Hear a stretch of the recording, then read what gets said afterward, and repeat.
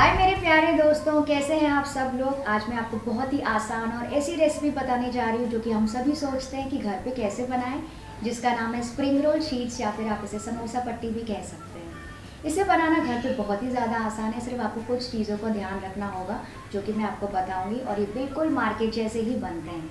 और एक बार आपने बनाना ये सीख लिया तो आप घर पे वैरायटी ऑफ़ स्टार्टर्स बना सकते हैं, जैसे कि समोसा बेक समोसा या फिर स्प्रिंग रोल तो चलिए देखते हैं इसे कैसे बनाते हैं। सबसे पहले हम बोल लेंगे एक और उसके ऊपर ऐसे छन्नी रख देंगे छानने के लिए। और इसमें मैं डालूँगी सबसे पहले मैदा। और उसके बाद मैं डालूँगी थोड़ा सा कॉर्न स्टार्च यानी कि कॉर्नफ्लावर ये इजीली अवेलेबल है मार्केट में।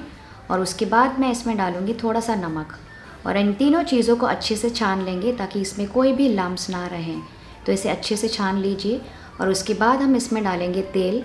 और इसे भी अच्छे से मिक्स कर लेंगे अपने हाथों से। इसे अच्छे से अपने हाथों से मिक्स कर लीजिए और इसके बाद हम इसमें थोड़ा थोड़ा पानी ऐड करते जाएँगे और इसका आटा गूँथ लेंगे। यहाँ पे मैंने थोड़ा सा वार्म पानी यूज़ किया है, जो कि हल्का गर्म पानी है तो इसमें थोड़ा सा हल्का गर्म पानी डालते डालते थोड़ा थोड़ा गूँथते जाएँगे।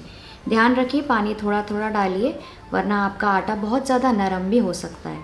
तो इसे अच्छा सॉफ्ट आटा गूँथ लीजिए। ताकि वो पूरा एक साथ आ जाए, ये देखिए।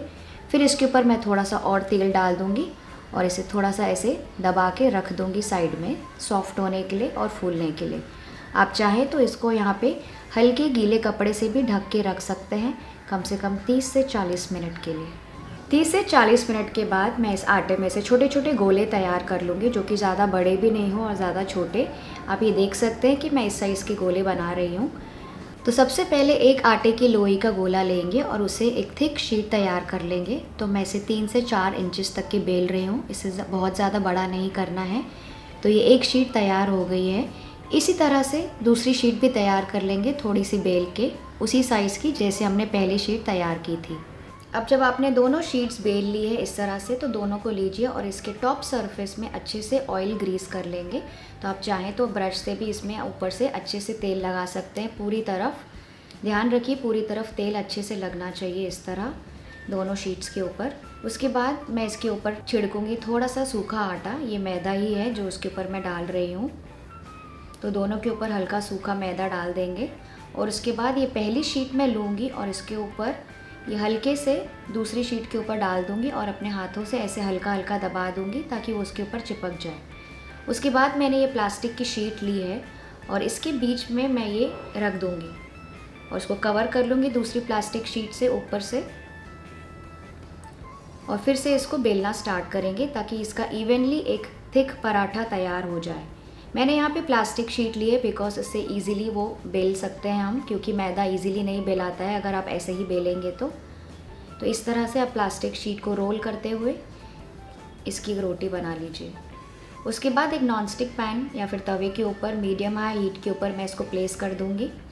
इसे थोड़े से ही देर पकाएँगे, कम से कम पाँच से छः सेकेंड के लिए। आप देखेंगे हल्का हल्का पकने लगा है। और फिर इस रोटी को दूसरे तरफ़ से भी फ्लिप करके आठ से दस सेकेंड के लिए पकाएँगे। इसे बहुत ज़्यादा नहीं पकाना है। उसके बाद इसे निकाल दीजिए किसी भी किचन प्लेटफॉर्म के ऊपर। बस ये पक गई है। इसके बाद इसके हम साइड्स को ऐसे पिज़्ज़ा कटर से काट लेंगे एक स्क्वायर शीट बनाने के लिए। तो मैं इसके चारों कोनों या फिर चारों साइड्स को ऐसे पिज़्ज़ा कटर से काट रही हूँ ताकि आपको एक स्क्वायर या फिर रेक्टेंगल शीट मिल जाए। फिर धीरे से आप इसके कोने एक साइड लीजिए। और अपनी उंगलियों से इसको हल्का सा अलग कर दीजिए। ये आसानी से अलग हो जाएगी। ये देखिए कितने आसानी से पतली सी शीट अलग हो रही है, क्योंकि हमने इसमें तेल और मैदा लगाया था। तो इसे धीरे धीरे अलग कर लीजिए। तो ऐसे आपको दो पतली शीट्स मिल जाएँगी। मतलब ये आपको एक रोटी से दो पतली शीट्स तैयार हो जाएँगी स्प्रिंग रोल बनाने के लिए या फिर समोसा पट्टी बनाने के लिए। एंड फिर आप जब भी आपको स्प्रिंग रोल बनाना हो तो आप इस तरह से इसको ऐसा फोल्ड करके स्प्रिंग रोल बना सकते हैं। और बहुत सारी आप चीज़ें बना सकते हैं। आप स्प्रिंग रोल्स या फिर समोसा या फिर बेक्ड समोसा। तो एक बार आपने ये ऐसी पट्टियाँ सीख लिया तो आप वैरायटी ऑफ़ स्टार्टर्स बना सकते हैं इस शीट से। तो आई होप आपको आज की रेसिपी पसंद आई होगी। अगर हाँ तो आप इस वीडियो को लाइक कीजिए अगर आपको आज का वीडियो हेल्पफुल लगा। मेरे वीडियो को अपने फ्रेंड्स के साथ भी शेयर कीजिए और मेरे चैनल को सब्सक्राइब करना ना भूलिए।